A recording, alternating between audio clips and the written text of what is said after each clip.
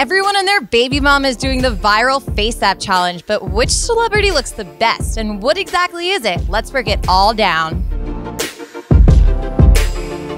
Hey guys, it's Lisa B for Hollywood Life, and if you click this video, then first, hi, happy Wednesday, and two, you're likely confused why every single person on your Instagram feed is posting photos of themselves looking old. Well, if you want to join in on the fun, you've come to the right place. The app everyone is using is called FaceApp.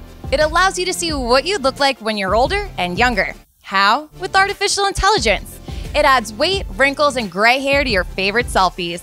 But first, we should mention there's privacy concerns. Critics claim the app can collect more than just the photo you've uploaded. But I'm sure you've all read the terms and conditions before hitting agree, right? No! Anyway, tons of celebrities are doing the challenge and posting their future saggy selves online. First up, the Jonas Brothers. Not sure how all three of them got the effect because when Devontae and I did, we failed. Next is Cole Sprouse, who looks a little caught off guard and slightly pissed.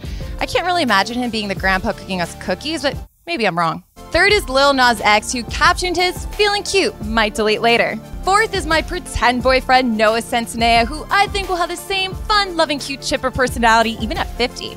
Bias? Likely. Fifth is Drake, who somehow managed to transform himself into a shiny silver fox, but it's Drake, so we're not too surprised. Sixth is one of my favorite people ever, even though I don't know her, Cardi B. But she didn't seem too impressed because she captioned it me throwing up before deleting it.